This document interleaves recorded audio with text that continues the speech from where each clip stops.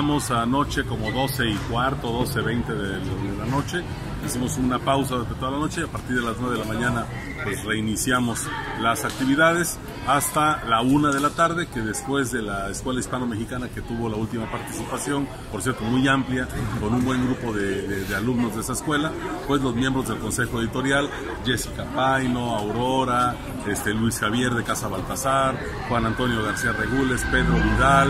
este, pues hicimos la, pues, la clausura ya formal de este, de este evento tan importante para nosotros. De la tercera edad que se subió a leer, entre padres de familia que también subieron a leer, gente espontánea que decidió sumarse a la iniciativa, eh, participaron con mucho entusiasmo y Dentro de esas cosas importantes tenemos la presentación pues, de un libro que la verdad...